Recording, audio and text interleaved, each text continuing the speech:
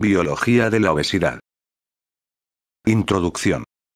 En un mundo en el que el suministro de alimentos no es constante, la capacidad de almacenar la energía excedente a la destinada a un uso inmediato resulta esencial para la supervivencia. Los adipocitos, presentes en múltiples depósitos de tejido adiposo, están adaptados para almacenar con eficacia el exceso de energía en forma de triglicéridos y, cuando sea necesario, liberar estos depósitos como ácidos grasos libres que pueden ser utilizados en otros lugares. Este sistema fisiológico, regulado a través de vías endocrinas y nerviosas, permite al ser humano sobrevivir a la inanición incluso durante varios meses.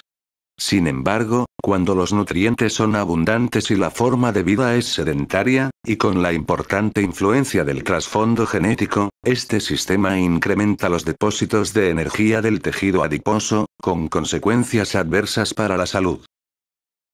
Definición y medición. La obesidad es un estado de exceso de masa de tejido adiposo. Aunque se considera como equivalente al aumento de peso corporal, no siempre es así, ya que muchas personas sin exceso de grasa pero con una gran cantidad de masa muscular podrían tener sobrepeso según las normas arbitrarias establecidas. El peso corporal sigue una distribución continua en las poblaciones, por lo que la distinción médicamente relevante entre personas delgadas y obesas es algo arbitraria. Por ello, la mejor forma de definir la obesidad es a través de su relación con la morbilidad o la mortalidad. Aunque no es una medida directa de adiposidad, el método más utilizado para medir la obesidad es el índice de masa corporal, que es igual al peso por talla al cuadrado, expresado en kilogramos por metros cuadrados. Otras formas de cuantificar la obesidad son la antropometría, en el cual se mide el grosor del pliegue cutáneo, la densitometría, en el cual se mide el peso bajo el agua, la tomografía computarizada o la resonancia magnética, y la impedancia eléctrica. Los índices de masa corporal del punto medio de todas las tallas y estructuras corporales de los varones y mujeres oscilan entre 18,5 a 24,99 kilogramos por metros cuadrados. Para un índice de masa corporal similar, las mujeres tienen más grasa corporal que los varones. A partir de datos inequívocos de morbilidad importante, el índice de masa corporal más utilizado como umbral de obesidad para varones y mujeres es igual a 30. Los estudios epidemiológicos a gran escala indican que la morbilidad por todas las causas, de tipo metabólico y de tipo cardiovascular, comienza a aumentar, aunque a ritmo lento, cuando el índice de masa corporal alcanza la cifra de 25 o más, lo que sugiere que el límite para la obesidad debería rebajarse. La mayoría de los autores utilizan el término sobrepeso, en lugar de obesidad, para referirse a las personas con índices de masas corporal situados entre 25 y 30. Debe considerarse que los índices de masa corporal de 25 a 30 son de importancia médica y que requieren de intervención terapéutica, sobre todo en presencia de factores de riesgo en los que influya la obesidad, como la hipertensión o la intolerancia a la glucosa. La distribución del tejido adiposo en los distintos depósitos anatómicos también es importante en relación con la morbilidad. La grasa intraabdominal y subcutánea abdominal es más significativa que la grasa subcutánea de las nalgas y las extremidades inferiores. La forma más fácil de distinguirlas es determinando el índice cintura-cadera, que resulta anormal con cifras mayores de 0,9 en la mujer y mayor a 1,0 en el varón.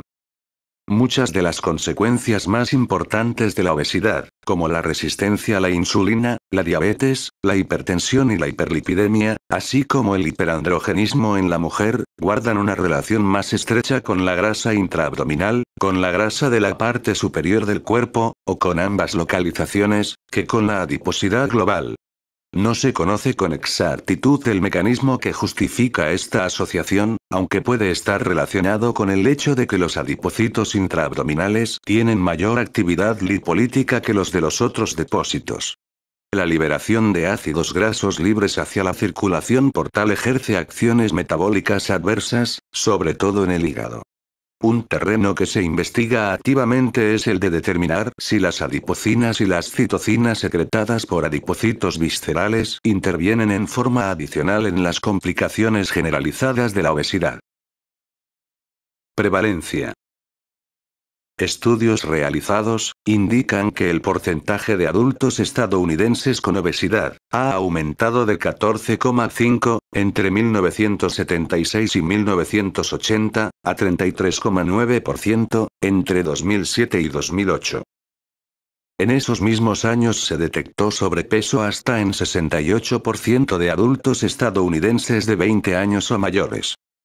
La obesidad extrema, dígase de índices de masa corporal superior a 40, ha aumentado y ahora afecta a 4,7% de la población. La prevalencia de la obesidad médicamente significativa ha despertado enorme interés y preocupación.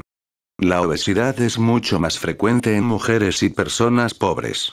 Además de estadounidenses de raza negra e hispánicos, la prevalencia en niños aumenta cada día a un ritmo preocupante. Regulación fisiológica del balance energético. Pruebas convincentes indican que la regulación del peso corporal depende tanto de factores endocrinos como nerviosos que, en último término, influyen en los brazos efectores del consumo y gasto energético. Este complejo sistema regulador resulta necesario porque incluso desequilibrios pequeños entre el consumo y el gasto energético terminan por tener importantes efectos en el peso corporal. Por ejemplo, un desequilibrio positivo de 0,3% durante 30 años daría lugar a un aumento de peso de 9 kilogramos. Esta regulación fina del equilibrio energético no puede evaluarse fácilmente por el simple recuento de calorías en relación con la actividad física. Más bien, la regulación o la disregulación del peso corporal dependen de una interrelación compleja de señales hormonales y nerviosas. Las alteraciones del peso estable mediante la sobrealimentación forzada o la privación de alimentos induce cambios fisiológicos destinados a oponerse a estas perturbaciones. Con la pérdida de peso, el apetito aumenta y el gasto de energía disminuye. En la sobrealimentación, el apetito disminuye y el gasto energético aumenta. Sin embargo, este último mecanismo compensador suele fracasar, lo que permite el desarrollo de la obesidad cuando los alimentos son abundantes y la actividad física es limitada. Un regulador importante de estas respuestas adaptativas es la hormona derivada de los adipocitos, la lectina, que actúa a través de circuitos encefálicos, ante todo en el hipotálamo, influyendo en el apetito, el gasto energético y la función neuroendocrina. El apetito depende de muchos factores que son integrados en el encéfalo, ante todo en el hipotálamo. Las señales que alcanzan el centro hipotalámico consisten en impulsos nerviosos aferentes, hormonas y metabolitos.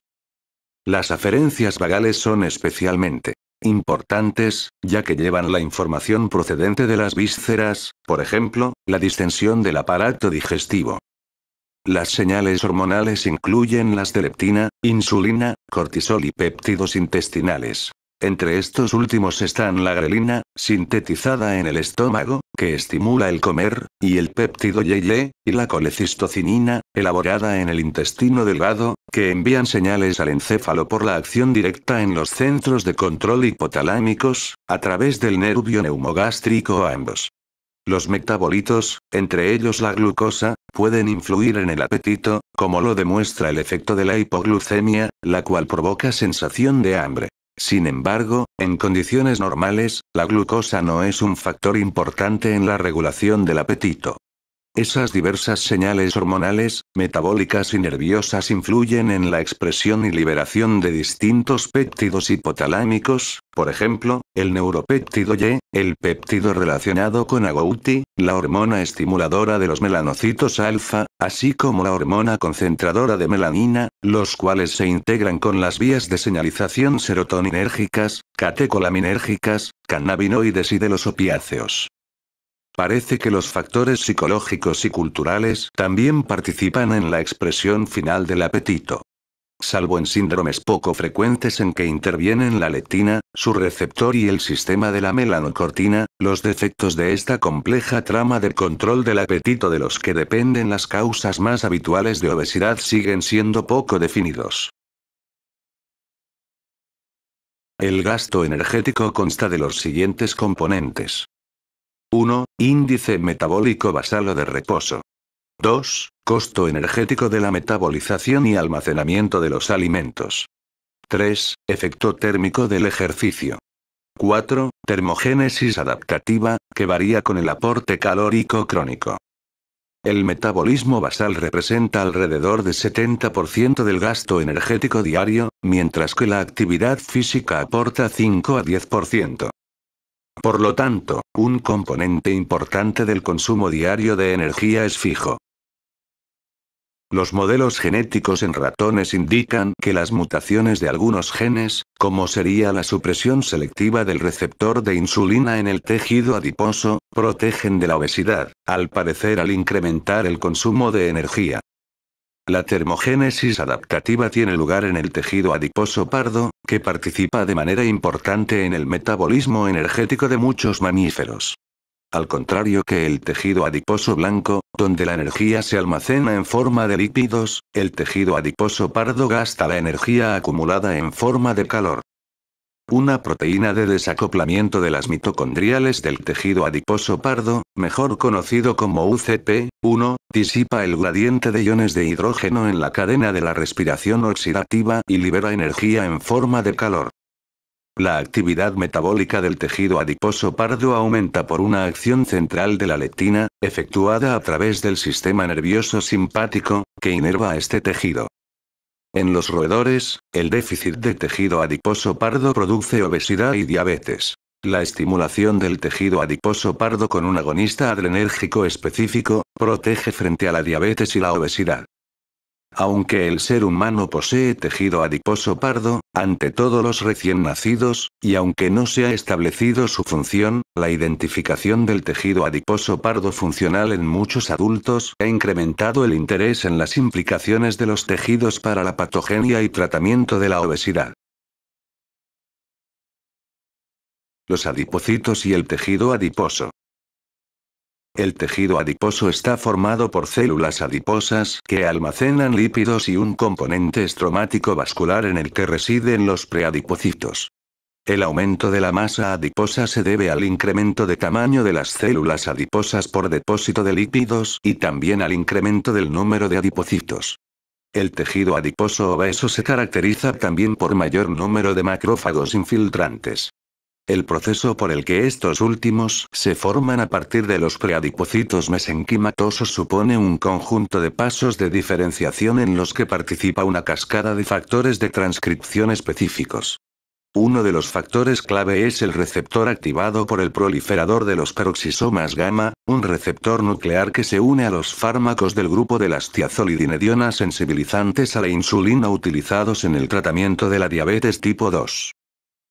Aunque, en general, se considera que los adipocitos actúan como depósito para el almacenamiento de la grasa, también son células endocrinas que liberan múltiples moléculas de forma regular, entre ellas la hormona reguladora del balance de energía, la lectina, citocinas como el factor de necrosis tumoral alfa, e interleucina, 6, factores del complemento como el factor D, llamado también adipsina, productos protrombóticos, como el inhibidor del activador del plasminógeno 1, y un componente del sistema regulador de la presión arterial, el angiotensinógeno.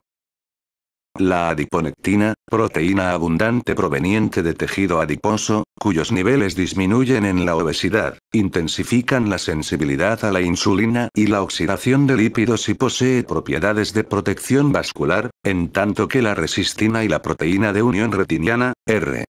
BP4 por sus siglas en inglés, cuyos niveles aumentan en la obesidad, pueden inducir resistencia a la insulina. Esos factores y otros no identificados intervienen en la homeostasia de lípidos, la sensibilidad a la insulina, el control de la presión arterial y la coagulación, y posiblemente contribuyen a las patologías vinculadas con la obesidad. Etiología de la obesidad. Aunque se están empezando a conocer las vías moleculares que regulan el balance de energía, las causas de la obesidad siguen siendo desconocidas. En parte, ello refleja el hecho de que bajo el término obesidad se agrupan diversos trastornos heterogéneos. En cierta medida, la fisiopatología de la obesidad parece sencilla. Un exceso crónico de consumo de nutrientes en relación con el gasto de energía. Sin embargo, debido a la complejidad de los sistemas neuroendocrinos y metabólicos que regulan el consumo, almacenamiento y gasto energéticos, resulta difícil cuantificar todos los parámetros pertinentes, por ejemplo, la ingestión de alimentos y el gasto de energía, a lo largo del tiempo. Función de los genes y del ambiente. Es frecuente observar familias enteras obesas, y la herencia del peso corporal es similar a la de la estatura. Sin embargo, la herencia no suele ser mendeliana y es difícil establecer dónde acaba la intervención de los genes y dónde comienza la de los factores ambientales. En relación con la obesidad, los hijos adoptivos suelen parecerse más a sus padres biológicos que a los adoptivos, lo que respalda claramente la participación de las influencias genéticas. De igual forma, los índices de masa corporal de los gemelos idénticos son muy similares, tanto si crecen juntos como si lo hacen separados, y guardan entre ellos una relación mucho más directa que los índices de masa corporal de los gemelos dicigotos. Parece que los efectos genéticos influyen tanto en el consumo como en el gasto energético. Sea cual sea la participación de los genes, está claro también que el ambiente desempeña una participación esencial en la obesidad, como lo demuestra el hecho de que la hambruna impide la obesidad incluso en las personas con mayor propensión a ella. Además, el reciente aumento de la prevalencia de obesidad en Estados Unidos es demasiado rápido como para deberse a un cambio del conjunto de los genes. Sin duda, los genes influyen en la predisposición a la obesidad, cuando se conjugan con formas de alimentación específicas y la disponibilidad de nutrientes. También son importantes los factores culturales relacionados tanto con la disponibilidad como con la composición de la dieta y con las modificaciones del grado de actividad física. En las sociedades industrializadas, la obesidad es más frecuente en las mujeres pobres, mientras que en los países subdesarrollados lo es en las mujeres de nivel socioeconómico alto. En los niños existe cierto grado de correlación entre el sobrepeso y el tiempo que pasan viendo la televisión. A pesar de que la composición de la dieta en la obesidad sigue generando controversia, parece ser que la alimentación con demasiada grasa puede estimular la aparición del problema en particular, cuando se combina con el consumo de abundantes carbohidratos simples, a diferencia de los complejos. Factores ambientales adicionales pueden contribuir a la mayor prevalencia de obesidad. Correlaciones epidemiológicas y datos de experimentación sugieren que la privación del sueño hace que aumente la frecuencia de obesidad. Los cambios en el microbioma intestinal con capacidad de alterar el equilibrio energético están recibiendo apoyo experimental de estudios en animales y la posible participación de infecciones virales que produzcan obesidad continúa recibiendo atención esporádica. Síndromes genéticos específicos. Desde hace muchos años se sabe que la obesidad en roedores se debe a varias mutaciones distintas distribuidas por el genoma. La mayor parte de las mutaciones de un solo gen producen tanto hiperfagia como disminución del gasto energético, lo que indica la existencia de un nexo entre ambos parámetros de la homeostasis de la energía. La identificación de la mutación del gen OB, en los ratones genéticamente obesos fue un importante avance en este campo. El ratón, OB, OB, acaba padeciendo una obesidad grave con resistencia a la insulina e hiperfagia, así como un metabolismo eficiente, por ejemplo, engorda aún cuando recibe el mismo número de calorías que sus compañeros de camada delgados. El producto del gen OB, es el péptido leptina, nombre derivado de la raíz griega aleptos, que significa delgado. Las células adiposas secretan leptina, que actúa a través del hipotálamo. Su nivel de producción constituye un índice de los depósitos energéticos adiposos. Cuando sus niveles son altos, la ingestión de alimentos disminuye y el gasto energético aumenta. Otro ratón mutado, DB, DB, resistente a la lectina, tiene una mutación en el receptor de esta hormona y sufre un síndrome similar. El gen OB, existe en el ser humano y se expresa en las células adiposas. Se han descrito varias familias con obesidad mórbida de comienzo precoz debido a mutaciones que inactivan la leptina o su receptor, lo que demuestra la importancia biológica de la leptina en el ser humano. La obesidad en estos individuos comienza poco después del nacimiento, es grave y se acompaña de alteraciones neuroendocrinas. La anomalía más importante es un hipogonadismo hipogonadotrópico, que cede con el aporte sustitutivo de leptina. En el modelo del ratón se observan también hipotiroidismo central y retraso del crecimiento, pero no está claro que estas alteraciones aparezcan asimismo en el déficit humano de leptina. Por el momento no hay pruebas de que las mutaciones o los polimorfismos de los genes de la leptina o su receptor desempeñen una función importante en las formas habituales de obesidad. Existen mutaciones de otros genes que también producen obesidad grave en el ser humano, pero todos estos síndromes son raros. Las mutaciones del gen que codifica la propiomelanocortina provocan obesidad grave debido a la falta de síntesis de alfa-MSH, un neuropéptido fundamental que inhibe el apetito actuando sobre el hipotálamo. La ausencia de propiomelanocortina también induce una insuficiencia suprarrenal secundaria a la falta de corticotropina, también piel pálida y cabello rojo se debe a la ausencia de alfa-MSH. Por otra parte, parece que las mutaciones de la proenzima convertasa 1, también conocida como PC1, causan obesidad por la imposibilidad de sintetizar alfa-MSH, a partir de su precursor, el péptido propiomelanocortina. La alfa-MSH, se une al receptor de la melanocortina de tipo 4, un receptor hipotalámico esencial que inhibe la ingestión de comida. Al parecer, las mutaciones heterocigotas de dicho receptor explicarían hasta 5% de los casos de obesidad intensa. Los cinco defectos genéticos señalados definen una vía por la cual la leptina, al estimular propiomelanocortina e incrementar alfa-MSH, restringe el consumo de alimentos y limita el peso, como se puede observar en la figura mostrada. Los resultados de los estudios de asociación de genoma completo para identificar el locus genético causante de la obesidad en la población general han sido desalentadores. Se han identificado más de 10 LOCI, relacionados con la obesidad, pero en conjunto explican menos del 3% de las variaciones interindividuales en el índice de masa corporal. El nombre que más se repite es el del gen FTO, cuya función se desconoce, pero que al igual que muchos de los descritos en fechas recientes, se expresa en el cerebro. Se calcula que el factor hereditario de la obesidad es de 40 a 70%, por lo que es probable que aún deban identificarse muchos de estos LOCI.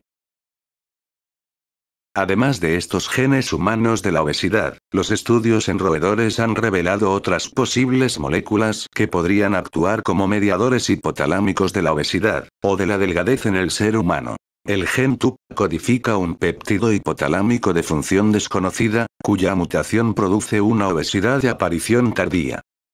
El gen FAT codifica la carboxipeptidasa, E, una enzima que interviene en el procesamiento de los péptidos. La mutación de este gen parece producir obesidad por falta de producción de uno o varios neuropéptidos. Las neuronas del núcleo arqueado coexpresan el péptido relacionado con agouti, y el neuropéptido Y. El primero de ellos se opone a la acción de la alfa, M, S, H, en los receptores melanocortina, y su expresión excesiva produce obesidad. En cambio, el ratón con deficiencia en el péptido hormona concentradora de melanina, cuya administración originaría el consumo de alimentos, es delgado. Existen varios síndromes humanos complejos con esquemas hereditarios definidos que se vinculan con obesidad. Aunque por el momento no se han definido los genes específicos, es probable que su identificación sirva para aumentar nuestros conocimientos sobre las formas más comunes de obesidad humana. En el síndrome de Prader-Willi, la obesidad coexiste con talla corta, retraso mental, hipogonadismo hipogonadotrópico, hipotonía, manos y pies pequeños, deformidad en boca de pez, e hiperfagia. Muchos enfermos tienen supresión en el cromosoma 15, y la menor expresión de la negrina, una proteína señalizante, pudiera ser causa importante de deficiencia en el desarrollo nervioso hipotalámico en dicho trastorno. El síndrome de Bardet-Biedl es un cuadro heterogéneo genéticamente caracterizado por obesidad, retardo mental, retinitis pigmentada, malformaciones renales y cardíacas, polidactilia e hipogonadismo hipogonadotrópico. se han identificado al menos 12 loci genéticos, y la mayor parte de las proteínas codificadas forma dos complejos multiproteínicos que participan en la función ciliar y en el transporte intracelular basado en microtúbulos. Evidencia reciente sugiere que las mutaciones podrían alterar el tráfico del receptor de leptina en neuronas hipotalámicas clave, produciendo resistencia a la leptina.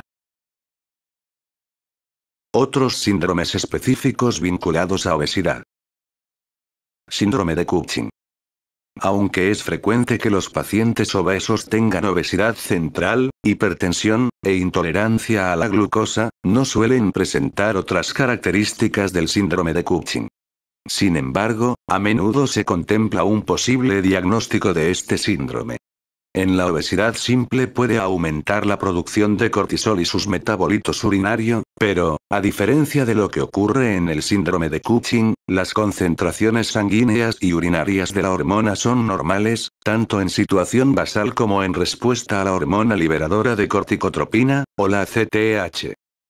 La prueba de supresión con un miligramo de dexametasona durante la noche es normal en 90% de los obesos, y en el resto lo es la prueba convencional de supresión con dexametasona en dosis bajas de dos días de duración. La obesidad puede vincularse con la reactivación local de cortisol en la grasa por acción de la deshidrogenasa 1 de 11 beta hidroxiesteroide, enzima que transforma la cortisona en cortisol. Hipotiroidismo. Cuando se valora obesidad debe considerarse la posibilidad de hipotiroidismo, aunque es una causa poco frecuente. Esta enfermedad es fácil de descartar al medir la hormona tirotropina, TSH. Gran parte del aumento de peso del hipotiroidismo se debe al mixedema. Insulinoma. Los pacientes con insulinoma suelen engordar a consecuencia de la sobrealimentación que realizan para evitar los síntomas de la hipoglucemia. El aumento de sustrato, J junto con los altos niveles de insulina, estimulan el almacenamiento de energía en forma de grasa. Aunque este fenómeno puede ser importante en algunos casos, en la mayor parte tiene una importancia solo relativa. Craneofaringioma y otros trastornos que afectan al hipotálamo ya se deban a tumores, a traumatismos o a inflamaciones, las alteraciones funcionales de los sistemas hipotalámicos que controlan las sensaciones de saciedad y de hambre y el gasto energético pueden ocasionar distintos grados de obesidad. No es frecuente, sin embargo, identificar una base anatómica concreta que justifique estos trastornos. Es probable que las alteraciones sutiles del hipotálamo sean una causa más frecuente de obesidad, de lo que permiten confirmar las técnicas con que hoy se cuenta. La hormona del crecimiento, GH, que posee actividad lipolítica, disminuye en la obesidad y aumenta con el adelgazamiento. A pesar de los bajos niveles de hormona de crecimiento, la producción de factor de crecimiento tipo insulina y somatomedina es normal, lo que indica que la supresión de la GH es una respuesta compensadora al aumento del aporte nutritivo. Patogenia de la obesidad habitual. La obesidad puede deberse al aumento del consumo de energía, a la disminución de su gasto, o a una combinación de ambos factores. Por tanto, el estudio de la obesidad debe incluir mediciones de ambos parámetros. Sin embargo, resulta casi imposible llevar a cabo mediciones directas y exactas del aporte energético en personas que llevan una vida normal.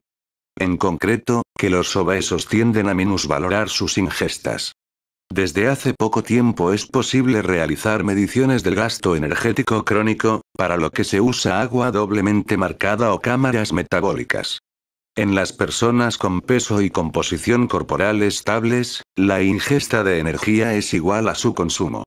Por tanto, estas técnicas permiten determinar la ingesta de energía en personas que hacen una vida normal. En la obesidad crónica, el nivel del gasto energético es distinto durante la obesidad establecida, en los periodos de aumento o pérdida de peso, y en los estados preobesidad y posobesidad. Los estudios que no tienen en cuenta este fenómeno son difíciles de interpretar. Existe un interés creciente por el concepto de punto de ajuste del peso corporal.